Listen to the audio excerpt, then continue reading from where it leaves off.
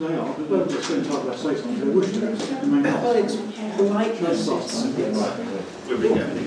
Nothing here. That's one. Thanks, George. Do you want to say? And, Right, okay, no, just want to make sure that, you know, We haven't. didn't want you to miss the opportunity. No, we have. It's. All right, there you go. I'm glad we're getting on. Uh, nothing done with it, Christmas decorations. right, so we'll reopen the meeting. Sorry.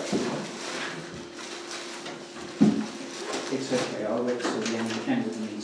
Okay, Okay, we'll reopen the meeting. The camera's rolling. Right, Bob, you're on. Do you, I mean, we- should we do county and then district, or district and then Okay. county? Yeah, I can sort of run them together anyway. The, the couple of things from, from county, um, you remember at the last meeting I was talking about the libraries and the consultation that had taken place. Um, the recommendation was that 18 of the libraries were continuing as they pretty much are at the moment with, with the county running them. There were a further 15 that were looking to run as community libraries with volunteers coming in to help. Of those 15, 13 are moving forward with potential community groups taking them on. The, uh, one of the two, though, that isn't is, is Highbridge.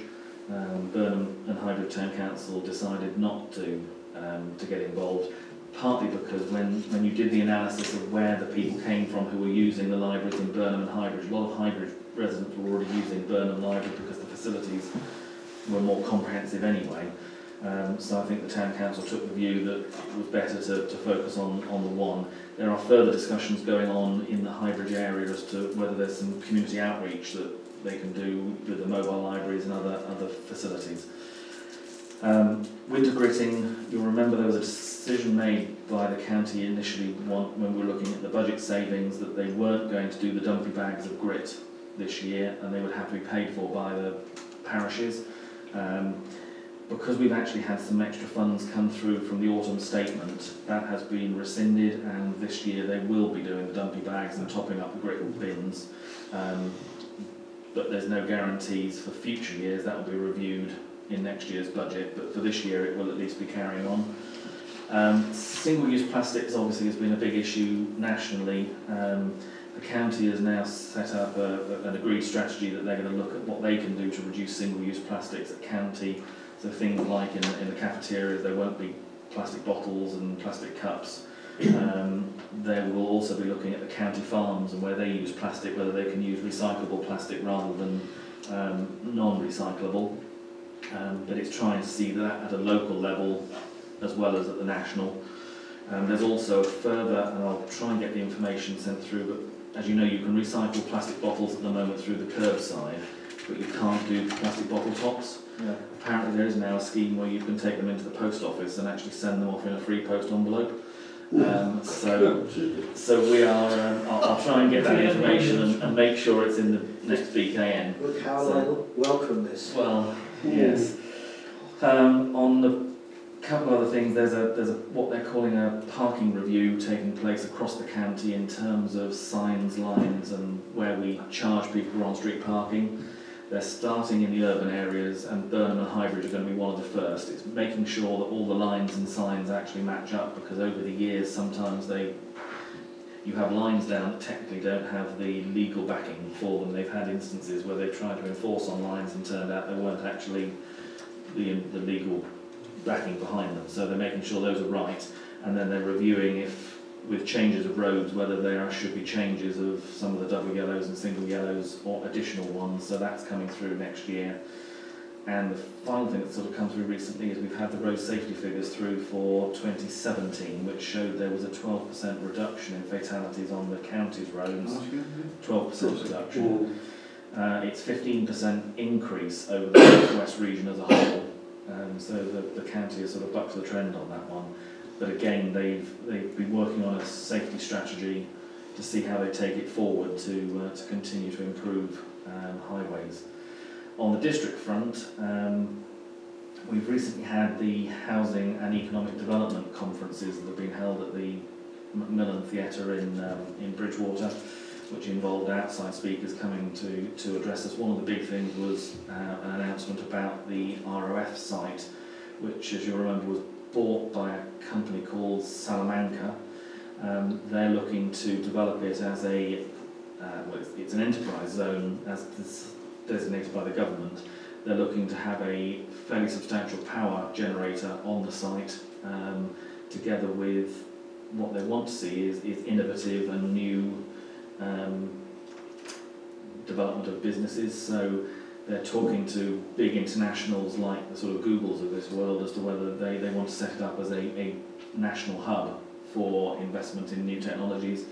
Um, they're working in discussion apparently with Bath University who have some major investments in electronic uh, development, particularly of electronic vehicles and batteries.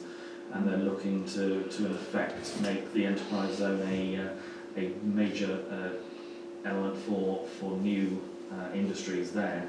They're looking still for about four or five thousand jobs to be on there when it's finished.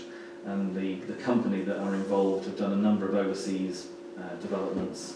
They're looking to base, and it's, it's encouraging if it happens, but they're looking to base it on some of the developments in California and Silicon Valley, um, where they've also had in, interests. So it, it's, it's very much up, up market for, um, for taking that site forward.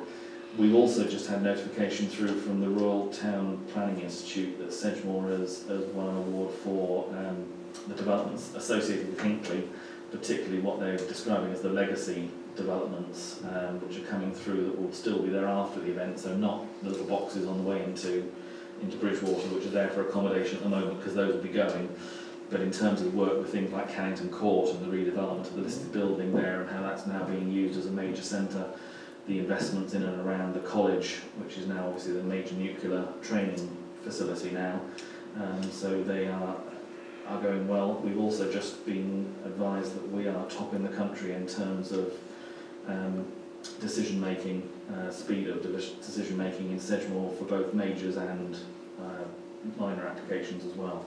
So it's uh, it's moving forward well. So um, other than that, the main thing on both of the other both of the councils is we're heading into budget round. Um, precepts and stuff will be set in February. So there's a lot of work being done on the budgets, and we're waiting to hear from government actually how much money they're giving to the uh, the districts and counties. There is a lot of talk at the moment, particularly on the county, of not so much money being given to the county, but the ability for the county to ask local residents for more. So as you know, we are capped at the moment at about 2%. Last year there was a 3% increase on top of that, which was designated specifically for social services, adult social services. The discussion at the moment from government appears to be they're looking at potentially a 2% element for children's social services, which, as you know, as I mentioned at the last meeting, is nationally overspent by something like 800 million, and in county, the current overspend was about 20 million. So that budget is now being, being reviewed um, and has been increased um, to try and keep the services going that we're doing. But obviously that doesn't mean there's having to be reductions in other budgets, uh, and that'll be part of the budget round that we have in the new year. But happy to take any questions, Chairman. Uh, Colin? Um, just a, as an aside question really, Bob, but is homelessness a problem in um, both district and county? It is, I mean, it's dealt with mainly by the district rather than by the county because housing is, is, a, is a district function. Um, yes, it is. Across the, there has been an increase in, in homelessness across Sedgemoor. Um, there is a strategy, well, the, the, the Sedgemoor have been working with people like the CAB to create ways of trying to avoid homelessness. So a lot of it can come from family breakdown and particularly teenagers being to leave home, but leaving Yeah. home for one reason or another. There's a lot of work that goes into now um, discussions with families to try and avoid that sort of breakdown happening uh, and, and to avoid homelessness before it starts. But there is there is an element. Also, obviously, the affordable housing that Sedgemoor is, is looking to, to see created is as a response to, to lack of, of homes in the area. They're also looking at whether there are other ways of creating particularly single person units. Um, there's a discussion going on with Bristol at the moment because they've done some work with conversion of in effect containers. Containers, yeah, down St Philips. Yes, and they are they are in discussions with them to see whether that is something that could be done in Sedgemoor. Again, it's finding the right location for them to go, but it's not, it's not as bad as it sounds, it's not sort of putting people in a steel container, they are fully refurbed and, and, Yeah. and made into Yeah. nice, relatively nice units. Yeah. So that's something that Sedgemoor is actively working on at the moment. So like Sydenham Manor, what's happened to that? That's still owned by, well, that's now owned by EDF because they bought it when they bought the whole Sydenham site, uh, sorry, the whole Innovia site. So they own it. They, I believe they have done some, some works to improve it, but it's, um, it's obviously a, I think it's grade two listed, or it might even be two Yeah, star. It's got to be. But it's, uh, it is still there and it's sort of hidden behind some of the new developments that's going on at the moment, but it is, it is still protected. Anything else? Thank you, Bob. Thanks, Paul. Moving on. Anything on footpaths, Peter? No, not uh, that I'm aware of. It's just muddy. Just It's getting muddy. Yeah. Thank you. Highways, Malcolm? No, Oh, sorry, Peter. Um, the, have we gone out to Dave Wellen about the footpath behind the church? Yeah. Keep re- Yeah, I know. He's, Yeah, he's- sorry he's on my list of reminder to him. Yes. I send him, what I do with Dave now is I send him a, uh, a pro forma every, every month with outstanding jobs on it.